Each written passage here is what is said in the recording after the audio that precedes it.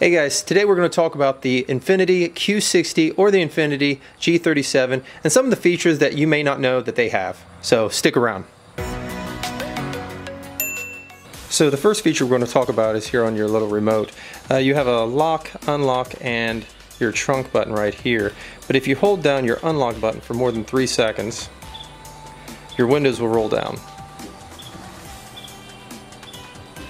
Now if you want the windows to roll all the way down you have to continue to hold the button in.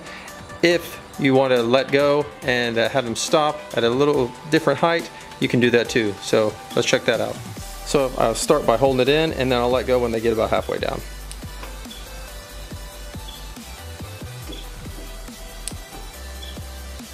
So you can kind of control the height right there. So if you want to get to your hard key, it's actually inside this little Infiniti remote. There's a little button on the back here. I'm just to click that. And then the key just kind of slides out right here. So another way to control your windows going down or up is with your hard key. So put your key in the door, turn right, your windows roll down, turn left, and your windows roll up. So if you want to lock your doors, you just hit the lock button, but it's going to make a horn sound. But if you don't want that horn sound, uh, you can actually hit your lock and your unlock button at the same time. Hold it in. And the lights flash. So now when I lock it, it just locks and unlocks without the horn. If you want it back, hold both of them again and now when I lock it, horn hits.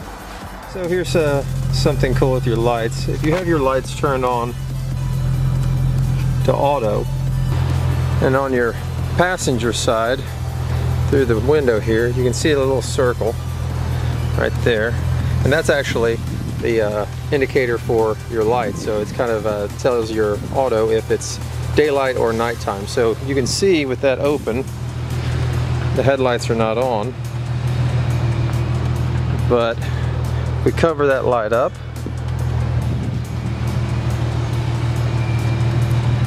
The lights come on. Take it off.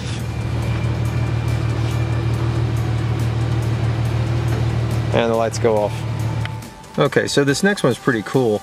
If your battery kind of goes dead on your little uh, uh, key here and you still need to start your car. There's a spot right down here that you can slide this into. And as you can see right now there's nothing uh, going on on the dash but when I slide this in you see my dash lights up telling me to press the brake. Now I can start the car So in the back seat here, if you have a small child in a carrier, you can look on both sides of the seats here and you can see there's these little slits and this right here is actually where you can strap in your carrier.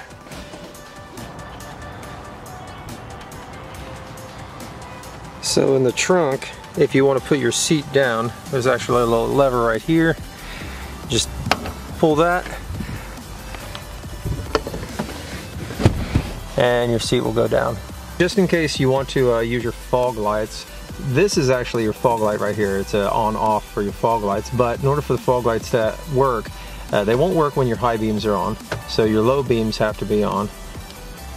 Turn it all the way over to this position and then turn your fog lights on. So right there they're on. Hey guys, and that is it for the video. Hope that helps and hope you guys will like it and subscribe. Until next time, I'll see you later.